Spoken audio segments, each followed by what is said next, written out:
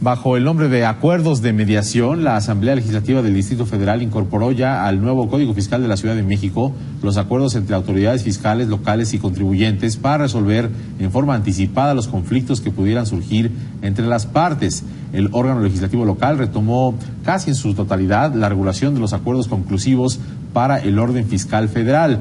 Vamos a conversar sobre este y otros temas para ello está aquí conmigo en el estudio Diana Bernal. Ella es la procuradora de la defensa del contribuyente. Procuradora, ¿cómo estás? Bienvenida. Gracias, Carlos. Muchas gracias por la invitación. Encantada de estar aquí contigo. Se ha estado hablando mucho en los últimos meses de estos, estos acuerdos, esta mediación. Creo que el concepto todavía tiene, todavía tiene que madurar en la gente. ¿Cómo lo resumes? Mira, lo resumo muy fácil. Los contribuyentes tratamos de cumplir con pagar impuestos pero en un momento dado la autoridad fiscal te puede revisar, te puede iniciar una auditoría. Y en ese momento tú vuelves muy vulnerable, porque tú sientes que pagaste bien tus impuestos, pero igual la autoridad tiene otra opinión en esa auditoría. ¿Qué puedes hacer ahora? Irte a nivel federal a un acuerdo conclusivo y pedirle a la autoridad que cualquier revisión que te haga sea con la intervención de la Procuraduría de la Defensa del Contribuyente a nivel federal. Y ahora, a nivel local, estamos hablando de personas a las que le hacen una revisión en impuesto al hospedaje, impuestos sobre nóminas, impuestos sobre adquisición de inmuebles.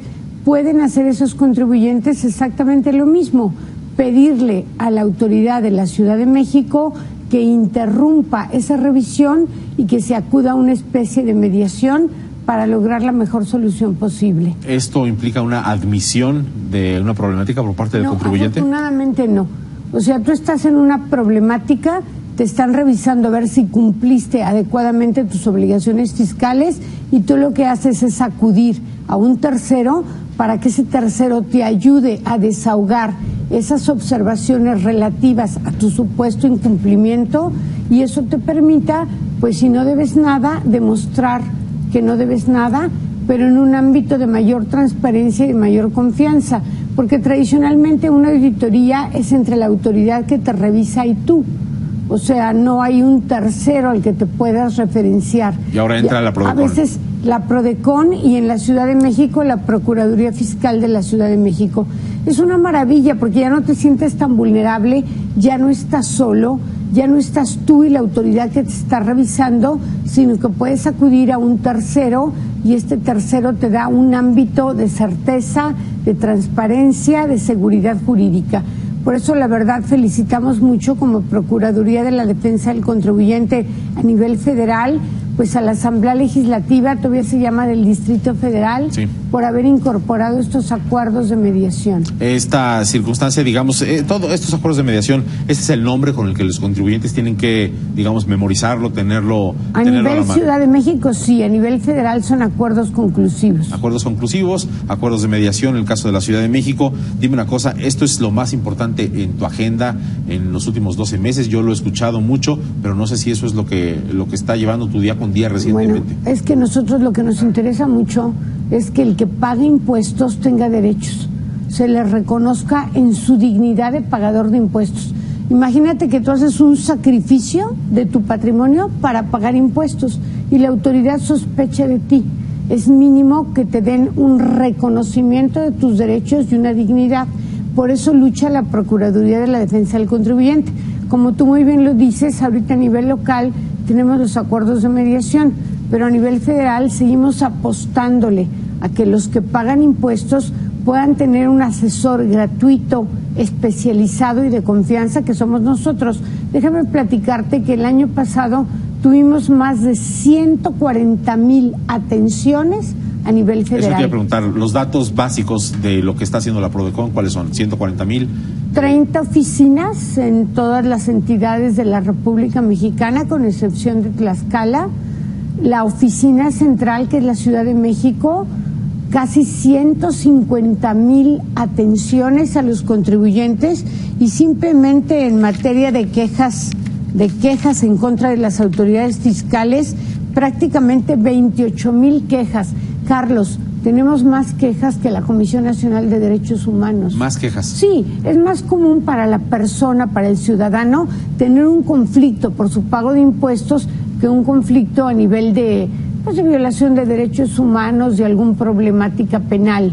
Entonces, la verdad, pues nosotros lo que queremos es estar cerca, acompañar a quienes pagan los impuestos. Yo le a tu auditorio, ¿quién no paga impuestos? ¿Qué consejo le das a una persona que paga impuestos que quizá nunca se ha enfrentado a una situación como la que tú describes, pero que nadie estamos exentos, ¿no? Que de pronto eh, la, la, autoridad fiscal nos, nos requiera o nos dé un citatorio. Bueno, el primer consejo que le doy es decirle, usted tiene derechos, usted está pagando. Con todos los escándalos políticos, usted está sosteniendo el gasto público. Mm. Y por lo mismo usted tiene derechos y ofrecerle desde luego que la Procuraduría de la Defensa del Contribuyente está para acompañarlos. Fíjate, Carlos, que igual defendemos pues a personas jubiladas que en un momento dado tienen algún problema con su pago de impuestos, que a grandes corporativos multinacionales que también están trabajando en México y quieren pagar adecuadamente sus impuestos. claro, todos somos contribuyentes, todos ¿no? Somos contribuyentes. Eh, tu agenda para 2017, ¿hacia dónde apunta? Apunta a consolidar más a la Procuraduría. En este momento tan delicado para el país, tan delicado para el mundo, es fundamental que el ciudadano, que la ciudadana sientan que tienen derechos, porque en realidad nosotros, la gente común y corriente, como tú, como yo, son las que construimos la ciudad, el país, el mundo, los que pagamos impuestos, a través de nuestro pago de impuestos. Somos los formales, ¿no? Los que estamos en el sector formal de la economía. Bueno, y incluso hasta los informales pueden ir a algún proveedor de servicios y van a pagar el IVA. Claro. Pueden consumir algún bien, algún servicio y se vuelven contribuyentes. ¿Quién es más receptivo, Aristóteles Núñez o Osvaldo Santín? La verdad, yo mis respetos a Aristóteles Núñez, lo admiro mucho, hizo mucho por la recaudación en este país, es muy receptivo y Osvaldo está tratando, y creo que lo está haciendo exitosamente, de seguir la línea que marcó Aristóteles. ¿Qué, ¿Cuál es esa línea? Sí, hay que pagar impuestos, pero hay que tener transparencia y receptividad a las quejas de los que están allí. Y finalmente te pregunto, Procuradora, con la perspectiva económica difícil que tenemos en 2017, lo que viene en Estados Unidos Donald Trump, la circunstancia que nos aqueja, ¿tú crees que se va a incrementar muchísimo el número de quejas? digamos, esta circunstancia no es un caldo de cultivo favorable para que muchos levanten la mano y digan, oye, me están cobrando más impuestos de los que yo debo pagar, alguna bueno, cosa coincido contigo, definitivamente es un caldo de cultivo y te quiero adelantar que pronto la Procuraduría de la Defensa del Contribuyente va a sacar un comunicado en relación con lo que está diciendo Donald Trump.